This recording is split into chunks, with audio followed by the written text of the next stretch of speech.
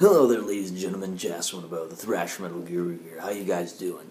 Well, I just wanted to say welcome to the first introduction of the Blacklist series. Now, what the hell is the Blacklist series, you say? Well, here's how it goes. The Blacklist series is not only where I just express my negative opinions about a certain YouTuber, an individual itself, a group, an organization, or anyone in particular to have done something that causes controversy or something wrong.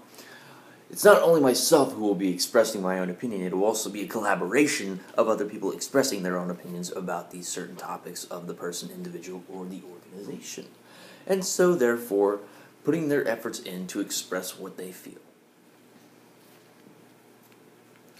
So, for any of you who have a problem with what I do or what other people's do, um, well, take it along into the sense to go fuck yourself or get the fuck over because, like I said before, these are only opinions and these are only the ways that are expressed by other people, and we are well within our own rights to express what we feel about a certain group, organization, an individual, or a YouTuber, or maybe multiple individuals as well. So, anyways, this is the introduction of the Blacklist series. Hope you guys enjoy what you see for any episode that comes out.